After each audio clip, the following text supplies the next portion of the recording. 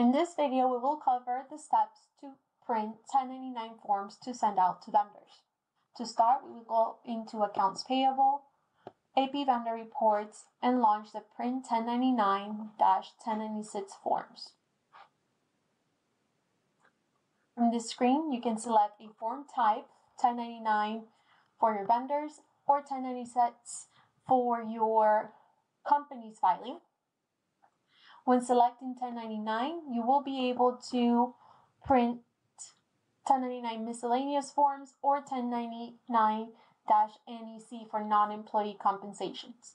In our example, we will use the 1099 NEC.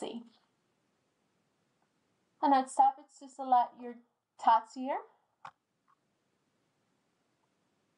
And as the 1099 form layout that has been assigned by the system will automatically populate in the use form field. The next step is to select the vendor range that will be printing 1099s for. You may either enter a subset of vendors or leave the fields as they appear on the screen to print for all vendors. The payer information will be populated based on the details in Common Services company profile. Always make sure that your tax number has been entered.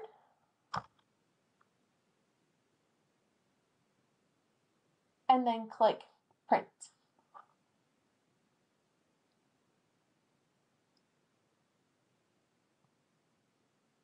Once in the print preview, you will see that the payer information is at the top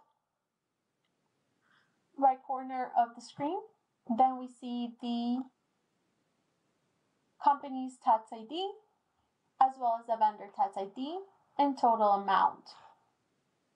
You will also see your vendor address available. From this point, if you have pre-printed 1099 forms, you may enter them in your printer and click the printer icon, select your printer and click print to finalize. Once printing has been completed, you may go ahead and click on the X at the top right corner of the screen and close the print 1099 form screen as well.